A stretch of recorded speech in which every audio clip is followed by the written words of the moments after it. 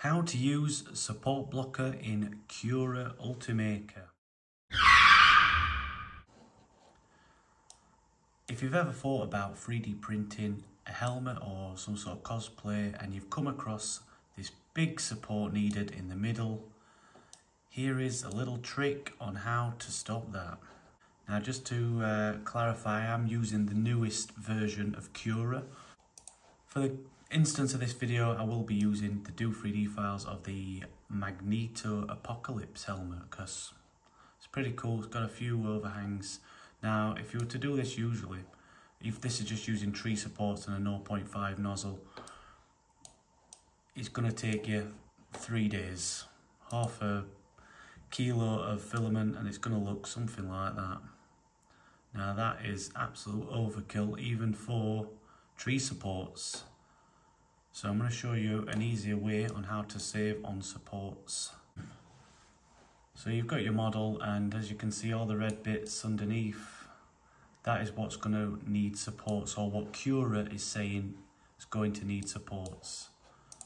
So if we go over to this here, this is a little support blocker and we just plonk that down in the middle, sorry.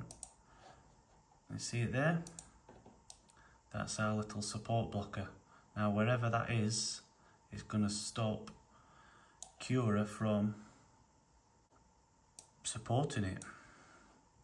So basically you can expand it, you can uh, size it just as you would with a print. So if you take off uniform scaling, you can have it further out one way, you know, further out another. You can go it straight up, as big as you want.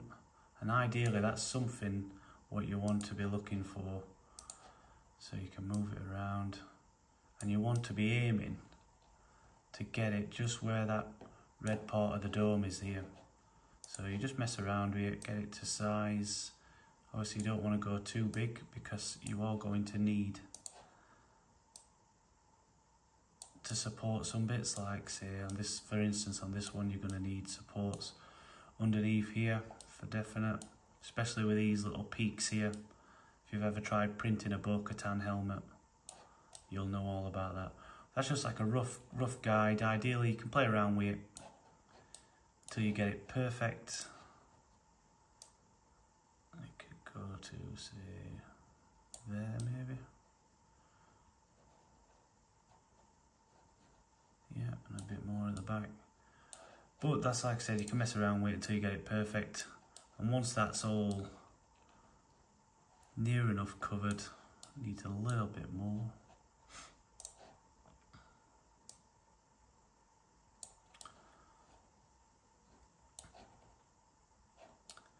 Yeah, so once you've got it like that, you could uh, go ahead and slice it. Obviously these bits you want to leave.